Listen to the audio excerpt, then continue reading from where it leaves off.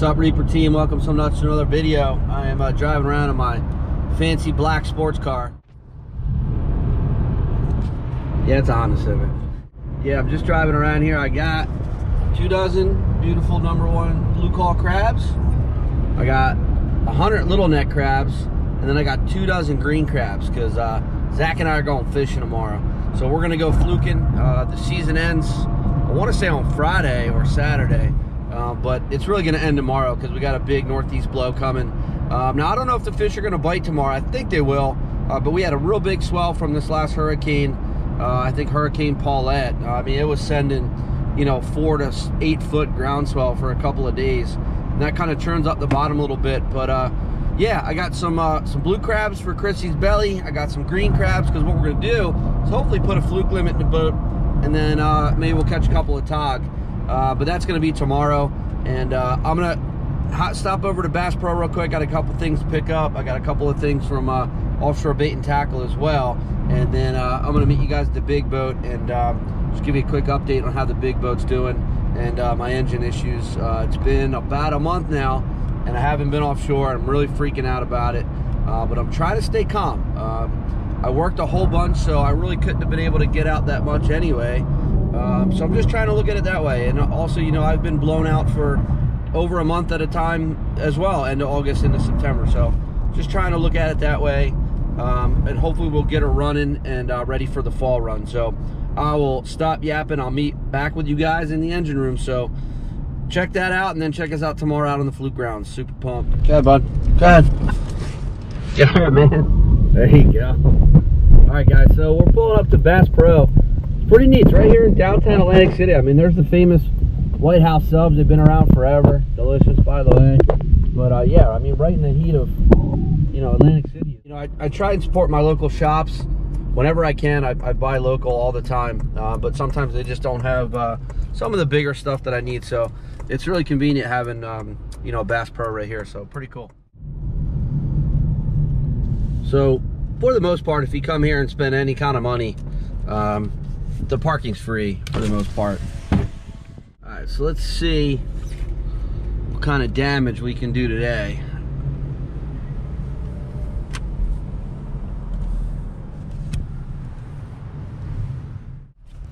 Uh, let's see what kind of damage here, team. I never get out of here without spending a hundred bucks. So, uh, I don't know. Uh, close, guys. 10902. Just can't ever do it. Just can't ever get out of there less than 100 bucks. Once we get over to the boat, I'll show you what I got. I uh, I got some new toys. Uh, I got this silly thing on my neck for the stupid COVID, but let's see what we got here. So, I got this neat collapsible crab slash crawdad trap. And really what I'm gonna use this for is hopefully to catch spot. Um, I bought a couple of these pinfish traps from Key West down and you know down from the keys and uh, they don't work at all. Uh, they've been catching just small sea bass and other little fish but I think the openings are too small for the uh, for the spot so I'm gonna try that out. I'm kind of obsessed with it. Got some. Somebody, somebody yelling at me. Maybe not. Got some uh, already pre-cut vacuum seal bags. Got a couple of just plain tackle trays for uh, some of my deep water fluke stuff Got some uh, sunflower seeds and uh, just some odds and ends, some extra hooks and things like that. So let's go check out Zach's boat now. He wanted me to make sure that uh, his breaker's on to charge the trolling motor. And uh, then I'll finally show you guys uh, how we're making out on the big boat. Now guys, don't tell Alana, but I think in the off season I may look for a bigger little boat. I don't know. We'll see, don't tell her. So here's Zacky's boat here. We'll be getting that bad boy all hopefully bloody tomorrow with some fluke. So Zach added the hard top in the off season and it makes it look like such a bigger boat. It's a 20 foot Hydro Sports. Let's see, Zach, you got your breaker on or what, bud? Oh yeah, okay, there you go. You're on Zacharis. Now team, I definitely missed uh, probably two to three trips on the big boat. Um, honestly, I was working a ton. My work schedule the end of August, beginning of September was really rough. Um, So I probably missed two to three trips. The weather was kind of iffy. Um, but I definitely am missing a trip today into tomorrow. So either today or tomorrow or an overnighter. So kind of bummed about that.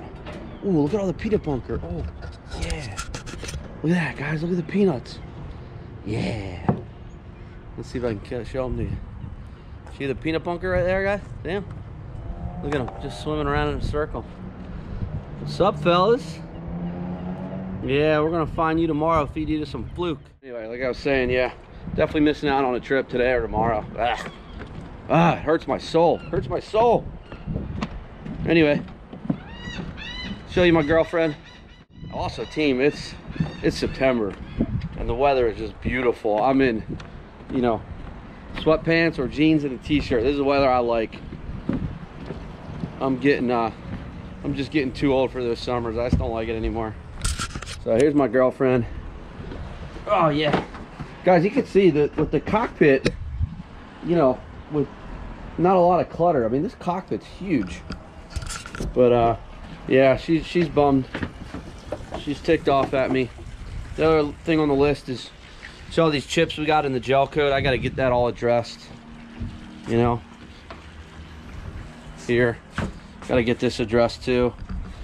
More money. I'm sure we could do it ourselves, but just wouldn't come out as good as if we did uh you know did it professionally a lot of that comes from i think tog fishing um, just big heavy weights getting thrown around so take a look uh, also real quick i wanted to tell you i've been working on t-shirts guys um, i promise um, trying to get it to where y'all can just order online on my website uh, i made a website specifically just for shirts and hats and things like that and then this way you guys can go on shop, see what you like, and then it's kind of like a print on demand kind of thing.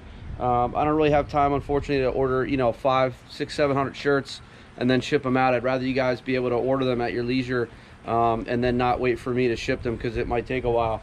Um, so I went ahead and I, I made one or two shirts um, and I ordered them myself just to make sure that the process was right before you guys did it. And I really wasn't happy with the quality of the shirt. So obviously, if I'm not happy, I'm not going to sell them to you guys. Um, and I, am not asking for you know a lot of money or anything like that. I just want to have you guys um, you know show your support. It'd be really cool, and obviously any anything uh, that goes towards the boat will help. Oh look, more peanuts! Wow, look at them all. There's tons of them, guys. I don't know if you can see them. Look, there's thousands of them.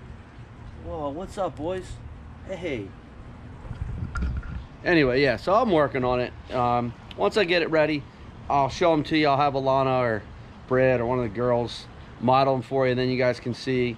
And uh, yeah i'd love it if y'all show your support for the channel because uh, man i love you guys watching and subscribing and commenting. It's just been been really fun but all right let's check out the engine room here. Oh let's turn the light on. Hold on. Let's get the light going. Let's get the uh, engine room lights on. All right all right guys so we're down in the engine room here um, team it's Team, it's been a rough year. Um, everything's kind of just going wrong this season. Uh, I don't think it's anything that we're doing wrong. We don't run this boat excessively hard. I mean, we run it a lot, but honestly, for diesels, that's good. The more you run them, the better. The more fuel turnover, the better.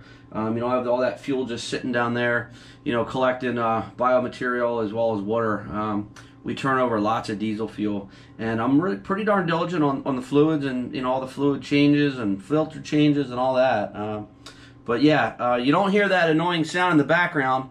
Um, i didn't forget to turn the air conditioner off. It's not working so. The salon unit the rear unit is missing. Um, we're going to replace that in the off season. And we've had the forward unit going and that's been cooling uh, most of the boat. It's been doing a pretty good job but uh, yeah, that just went a couple of days ago. So just one thing after the other. It's going to be expensive all season, but let's check out the engine here. So you can see that they've got her all taken apart. Um, so there's the there's the exhaust manifold there, and we were thinking it was going to be one one continuous gasket, but I'm pretty sure the gaskets all go just right there. So there's one, two, three, four, five, six, one for each cylinder. What happened was when I bought the boat, it had 630 hours on it. Um, and what the prior owner did, he actually went ahead and did the thousand hour service already. I was like, man, that's awesome. Um, so the boat, I thought the engines were going to be pristine. Um, they had just detailed the engine room. The boats had just had, I don't know, like 30, 40 grand work of, of worth of work done. I thought everything was going to be peachy keen. But I guess the marina up there in Rhode Island, when they did all the gaskets, they used the wrong ones or they didn't do it right. At least what's my mechanics telling me. So that's super, super bummed. I mean, so here's the here's the gaskets, and this is what is failed. And uh, you know, I don't know. I'm not a mechanic, but these little buggers are the problem here. See that one's shot. So literally six six little gaskets have kept me out of the water for a month or so. Honestly, I should have let Zach and uh, our buddy Craig do it. Um, I just I was worried. I didn't want them to get down in here and um, you know realize they were in over their heads, and then we're set back even further. Not that I don't have faith in them. I have faith in them. These guys are awesome, but um, I just figured let the pros do it. But yeah, in retrospect, I probably should have just let the guys do it. But yeah, so we've got the manifold off. Um, you can see they had to pull the, the turbo off. Um, you can see also the aftercooler looks the aftercooler looks a little sooted up too. I'm a little worried about that. I'll have to uh, talk to the guys at Jersey Cape and see if they need to, to clean that out um, before we get running again, um, or if that's something that can wait till the off season. So, uh, yeah, I mean, you've got to you pulled everything off from the main exhaust. I mean, um, good amount of work. Um, my mechanic said it's pretty labor intensive just taking the the manifold off. And uh, the other thing too, man, I you know, if Craig and Zach are down here, you know, they're wasting their days off. I feel bad. Um, I know Zach doesn't mind, but uh, God forbid one of them gets hurt or something. I would just feel terrible. But at any rate, um, so the mechanic sent me an email this morning um, saying the estimate's thirty six hundred bucks. So uh, honestly, guys, that's um, that's actually better than I thought it was going to be. Um, I was thinking ten grand or more. So with boats, anything less than ten thousand, honestly, I'm I'm pretty pumped. I know that sounds insane, but uh, that's boats. so uh, yeah, so he said uh, hopefully the part should be in really soon, and um, uh, hopefully I'll have us running by the end of the week. Now we've got the big northeast blow, so I don't think I'll be uh, fishing really anytime soon. But yeah, the sooner the better, um, because then this way we can go out and do some shakedown trips, um, and then maybe even do like an inshore trip, troll for wahoo in 20 to 30 fathoms before we start heading to the canyons. Because I'm pretty sure after this next blow, I'm gonna be going all the way, baby, to the Hudson, and that's uh, 100 miles plus, um, just one way to the fishing ground. So I don't know, guys. I don't know. Poor girl. She's like, what are you doing to me, Chris? She wants to go catch some fish. Whoa, look at that beautiful custom over there, guys. Whoa. Look, there's another one over there, too. Two beautiful customs. Good Lord. Maybe someday, guys. I don't know. Maybe we saw lots of t-shirts. I'll get a custom. Ooh, look at all the bunker. Look at all the bunker. Look at them all. What's up, guys? Yo.